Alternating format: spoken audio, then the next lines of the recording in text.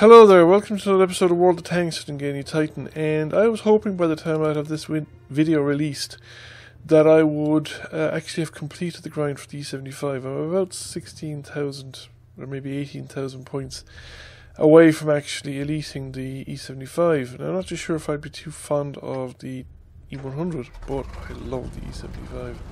Um,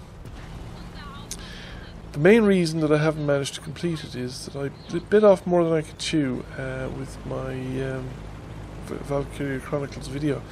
And I chanced a video that is slightly in excess of half an hour, and bloody thing still hasn't uploaded. It's now 6 o'clock on Thursday evening, and um, it's still only like 70% of the way.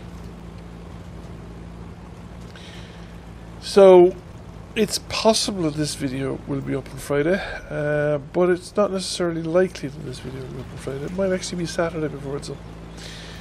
However, I hope you'll forgive me and that you will bear with me in a little bit of patience. So, what do I say about it? Well, I think it's an extremely forgiving and reliable tier 9 tank. Um, the line on leading up to it isn't. This is definitely the best tank in the line. I mean, they they all have their they're all good tanks when you get to the top tier, but most of them are pretty soft in the armor. They're, you will find the enemies penetrate the armor. Tiger, Tiger Two, um, the various tanks before that as well. The um, the armor will be easily penetrated, and what really makes the tanks, in many respects, is the the armor is usually not too bad but the guns are great. The guns are usually really good, and the mobility is usually pretty good. But this tank uh, has be the best armor of the lot in terms of its actual practical effectiveness. Uh, it's a very forgiving tank, I find, very capable. Now, that said, you can get it in the wrong situation there. If I had stayed facing off against that Conqueror side scraping, I would have lost the fight because I would have found it nearly impossible to penetrate the Conqueror's turret. Um, Commander's Hatch shot in the Conqueror is possible, but it's probably one of the hardest Commander's Hatch shots in the game. Um, and he was giving me no um, lower front plate. The upper front places, I wasn't going to penetrate it at all.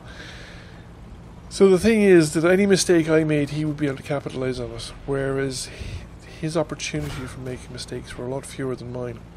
Um, I was going to make mistakes. I was going to pull back sometimes a little too far, show a little bit too front, uh, too much of my lower front plate, and he would get the opportunity to put shots through it, even if he bounced a lot of them. Whereas if he stayed where he was and what he was doing, he was I was going to get no chance of doing the same thing back to him. So I was much better off moving out here. Now we have VK4502B who has seemed to think that if his turret is hidden his tank is hidden, but he's actually now finally pulled back after taking a couple of rounds from my gun. So the gun here is a very punchy gun. Now I am mixing and matching here between uh, premium and regular ammo. The thing about this gun is that a lot of the time you don't need to use premium ammo. Um, the regular ammo works perfectly fine. Um, but it can be worth if you want to really make an impact sometimes in the game just spending the money and um, firing out the good stuff because you know it is more reliable and um, especially trying to punch to the front of the VK4502. There's a Jagdtiger around the corner as well, which would be challenging to get rounds to the front of it. But in general, um, this is an excellent tank. And we need to clean up this corner because the enemy are starting to win at the um, cap circle. Now, I made another mistake there. I should have taken the time. The Jagdtiger was unaware of my presence, really. I should have taken the extra half a second or so to actually aim in and try and go for the tracks. Now, he did face me, but he changed his mind and decided that um, facing me in a Type 5 Heavy was probably not the best moves he could make. Now, I left him for the Type 5 Heavy to finish off because I'm looking at the situation down at the cap and I said that I need to go down there and intervene. And while I'm on the way down, uh, I think yeah, this is easily like it's the best of um, the, the, German line. I came up through the VK 3001H and the VK3601H or 02H, I can't remember. Up through the Tiger and that uh, path to this, and I think uh, this is easily the best tank in the whole line. Um, and I've enjoyed most of them um, on the way up to varying degrees. I think the Tiger 1 itself is probably the next best. Um, but this is this is possibly, I think, my favourite tier 9 in many respects. Um, of all of them that I've played, this is the one I have found easiest to play. Um, because the combination of armor and gun, I think, is just unparalleled.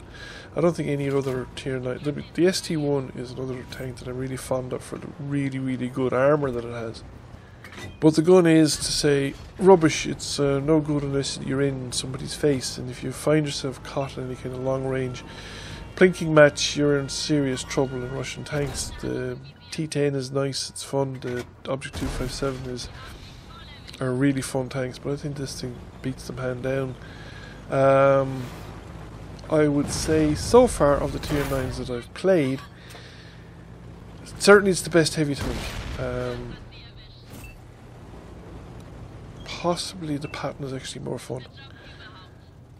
But I haven't given it the same kind of time and dedication that I have to the E75. But I think the E75 is an excellent tank. And I've had great fun with it, and I will definitely be keeping it. Uh, I don't actually see myself being in an awful hurry to go for the E100. Just always struck me as too ponderous. Um, and I'll probably play it at some stage because, you know, you just have to, just to see what it's like. So we came number one by experience, did 4.5k damage, got a first class mastery. And yes, the epitome of German tank philosophy, late war German tank philosophy, I think.